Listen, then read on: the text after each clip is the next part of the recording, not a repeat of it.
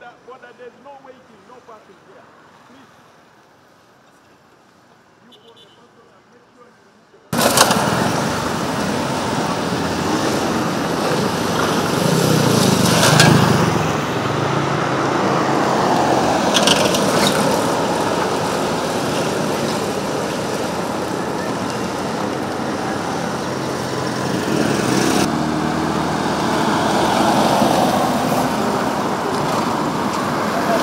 Kulowooze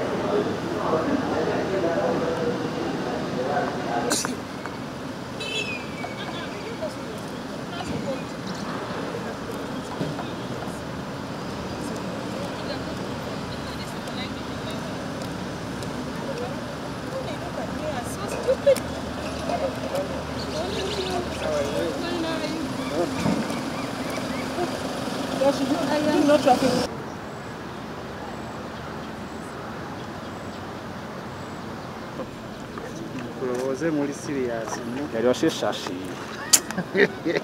abaana banupu mwayitiridde namu okujuma sebo sasi. Musajja tebamulabye nga mm, mm, mm, ah. atandise okubira akubira abasirikalenakoneko ku musirikale omusajjakusimika ebinyize nange sikulimba. Katikuusa ebinyeni akasasi mwakagoze mugundi kyalina tawuni Akasasi kafa bulijjo naye owekimpatiira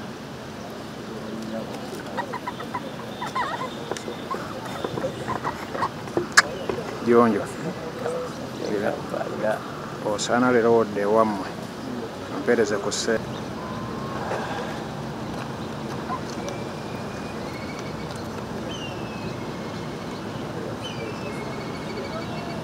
Eh, tezikyakuba bugundi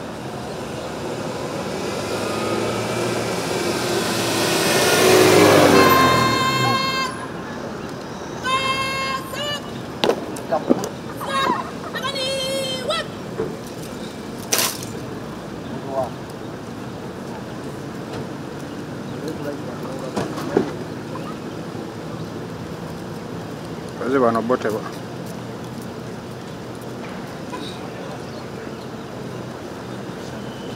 Guys, are you set?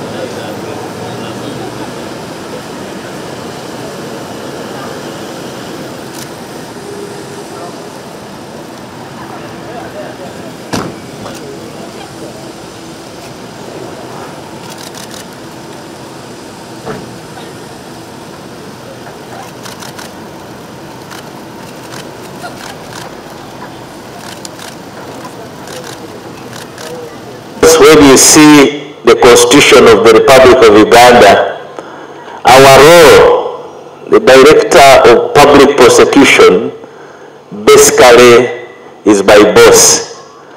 Uh, that's why I call her Bossy Bossy. So when she comes here, we are basically trying to agree how can we legally secure the, the people of Uganda. So I'm very excited, first of all, to host you here at CID headquarters, and we look forward to, to, to a lot of a lot of conversations in these two days. So Afande IGP, as you come here, just know that this is your home, and we are very happy to host all these people from the entire country. Now, from the program and the briefing we have given you, you realize we have quite a number of discussions. Some will range from corruption to terrorism to how we can fight criminality in general. And the basic really uh, reason for us to meet here today is to see how best we can realign our work supporting the ongoing socio-economic transformation of our people. There is no way we are going to continue operating outside what the people of Uganda want. And by us spending our time here today, we hope we shall come out with concrete uh, lessons, concrete steps on how best we can move forward together. As do that well, then the criminal justice system will be safe because it starts with us and then the judiciary comes in and where we fail or we succeed, we pass over the problem to prisons. So clearly, this is a historical moment and we look forward to having candid and honest discussions. Of course, we still have some challenges here and there, and that's part of progress. So we shall take stock of where we have achieved and where we have failed and what we can do better. With those remarks, uh, I want to. PPP, CID in the social economic transformation of Uganda. Uganda is one of the East African countries with a record of significant economic growth over the past decade. However, this growth has slowed down the last few years, which is among other reasons, heavily, of course, due to the worldwide COVID-19 pandemic. Furthermore, in October 2022, the World Bank released a report which showed that 4.2% of the Ugandan population is estimated to be in extreme poverty. So our theme is really on point. The theme, therefore, seeks to explore how the ODPP and the CID can effectively and efficiently work together to foster socio-economic transformation in Uganda. The meeting is an opportunity to discuss the current and future role of ODPP and CID in countering socioeconomic challenges by equipping investigators and prosecutors with knowledge and skills in the investigation and prosecution of criminal cases, while of course sharing best practices in handling criminal matters. That's why we bring you together. Please mix, mix, and mix. Even this sitting arrangement is not very good people should be mixed up. The ODPP and CID have a special duty in this country to protect society from the criminal behavior.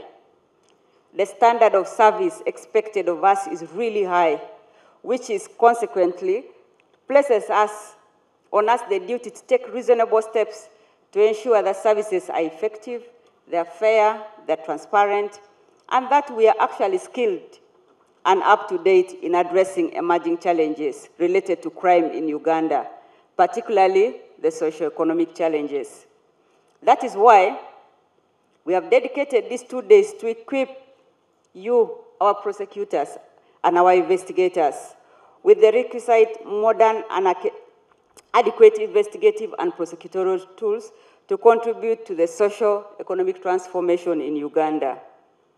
As you may have seen the, from the program, there is a diversity of topics to equip you with the necessary knowledge and skills to professionally and effectively manage criminal cases in your respective capacities. This meeting, of course, is only two days and cannot be exhaustive of all the knowledge you need to acquire.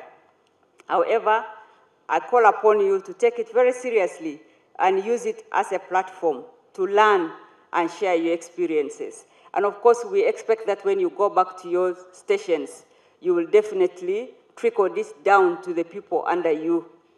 So you're just here, we're just trying to give you, it is like uh, giving you a test of what you can do. You are now going to expand it, and we shall definitely come to the field to see how far what you learned in the two days, what you have done with it.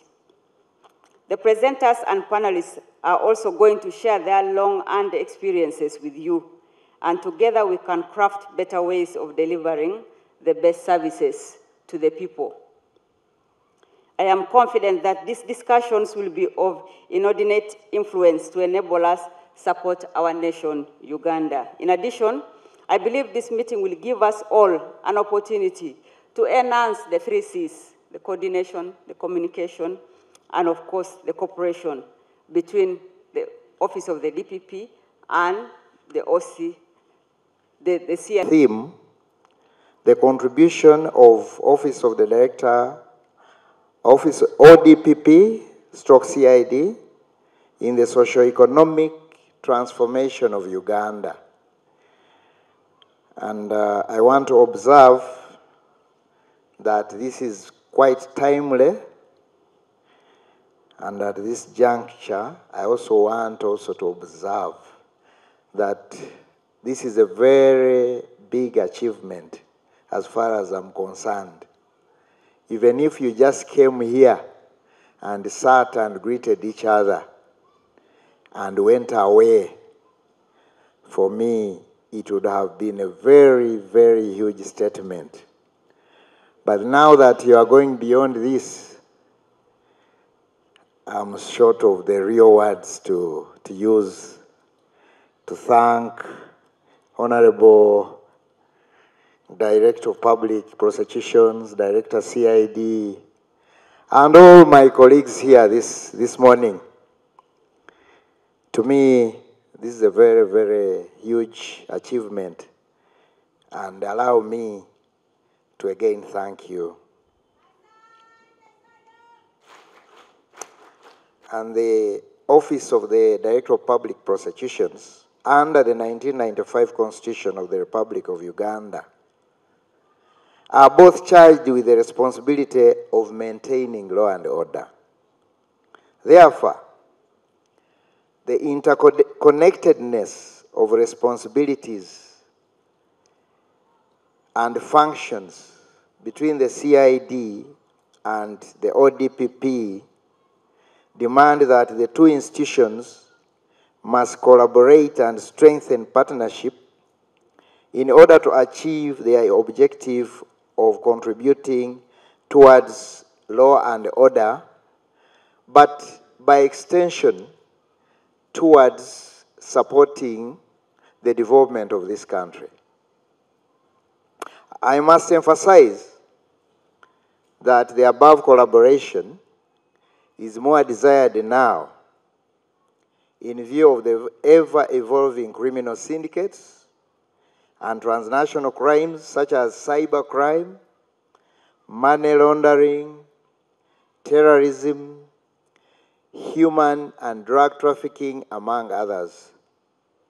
Therefore, as you deliberate on the various topics I have seen on the program, we expect you to review the ongoing tasks, share experiences, and identify the notable issues and gaps to enhance performance.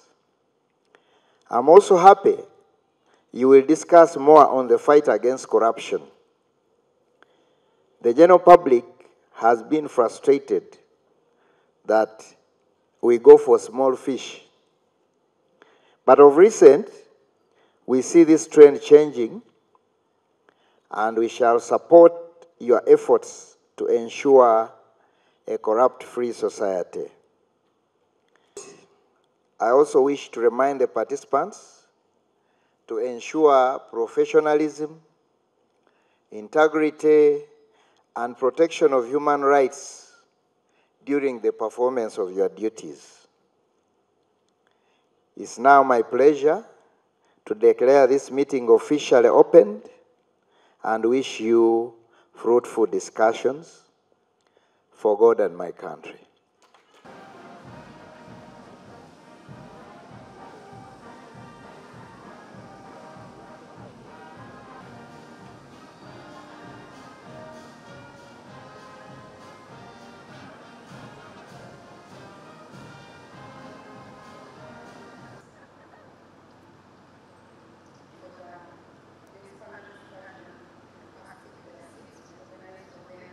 What our priority, our priorities as investigators. I just want to draw us to a quick case that we are doing right now. It's a terrorism case where money was being sent from the DRC through crypto, the operator in Zambia, the money goes to Tanzania and then it gets to Kenya and Uganda to perform acts of terrorism. Now, if you look at the nature of uh, the nature in which these criminals, uh, transnational organized crime operate, it calls for a number of mechanisms to ensure effective and efficient systems to prevent, detect, but also to investigate crime. Now, what are some of the mechanisms that we are looking at in combating or investigating transnational organized crimes? We are just to draw back to our theme for today, the coordination, that should actually be point number one. We should enhance cooperation because we as investigators, we can't do much without the collaboration of the DPP. And in collaboration, we are emphasizing the prosecution guided investigations. Currently, what we are doing, as far as investigating transnational organized crimes are concerned, we bring the DPP on board right from the inception, because most of these cases emanate from actual intelligence. They're always built from the intelligence world, and then we eventually turn it into evidence. So even as we still have evidence, I mean intelligence, we bring our prosecutors on board. We sit together in one room and we discuss, because the nature of uh, TOCs is quite sophisticated in nature. So that's one mechanism we've adopted. Then, besides the, co- the collaboration between the CID and the DPP, we are bringing in other agencies, but also other stakeholders. I told you the case we are doing currently, it emanated from Congo all the way to Zambia, Tanzania, and then Kenya involved. So we are also collaborating with stakeholders at regional level. Our teams actually, as I speak now, they've so far visited Zambia, they've gone to Tanzania, and soon they will be going to Kenya. So our coordination is beyond borders because the crime itself is beyond borders. And then when you look at TOCs, the criminals involved or the syndicates are so organized and quite sophisticated. They've embraced technology. We all hear what they call the darker web, the cyberspace. So our criminals have also embraced that. The English say when you look into the abyss, the abyss also looks into you. We are busy preparing as investigators and prosecutors, but the bad guys are also preparing. They are quite sophisticated. So, what does this call for? Another mechanism then is to embrace the science and the technology. The Director of Forensic Services is here. In most of our cases, we've had either communication through uh, uh, ways. They are always, because um, there are so many, when you look at the communication channels these days, I mean the media space, there are so many, and the criminals have embraced them. So we've, uh, one of the mechanisms is really to embrace the technology and the science in our investigations. We also just need surveillance. We're talking about, uh, uh, about science. Because these people are sophisticated, there is no way you're going to investigate them, but you're not in, uh, doing surveillance on them. And the surveillance can be before you even arrest, at the time of arrest, when you're interviewing them. But even when they go to prison, we've extended our surveillance. We've had cases that are not in uh, that are in court, and I may not specifically mention them, but where we've had suspects trying to manipulate our cases. So we also follow up, even when they're in prison, to see what they are planning. Because, like I said, that they are sophisticated, they never stop planning. We've also, we've also, we are also ensuring accountability through internal oversight and mechanism. Our chief guest was talking about corruption this morning. Are our teams and investigators up to the task? So we've set up mechanisms. As far as TOCs are concerned, instead of allocating the case file to one investigator or two, this time around we are forming up teams because once you form up a team, each investigator has a unique quality. But also in the teams, we ensure that there is effectiveness in, in conducting investigations. Uh, ladies and gentlemen, we can all agree that we still have a challenge in our laws and uh, some of the issues that come up during investigations. Again, in the recent, we've seen where you're investigating, especially the high profile cases, and then